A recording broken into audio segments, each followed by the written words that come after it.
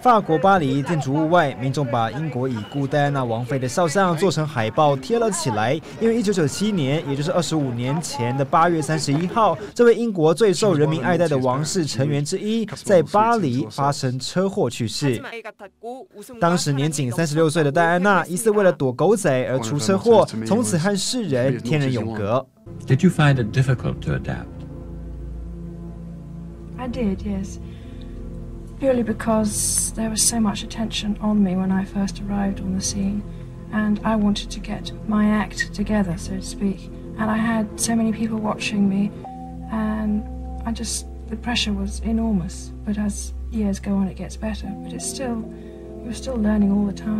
回顾戴安娜王妃的过往，一九八一年和英国王储查尔斯结婚，但童话故事终究是书本上的佳话。两人在一九九六年离婚，隔年戴安娜车祸离世。戴安娜逝世二十五周年，她在世时最爱的一辆福特汽车，日前在英国银石赛道拍卖，以大约新台币两千六百万元卖出。这位昔日焦点人物的生前物品，仍然受到世人珍惜。装设综合报道。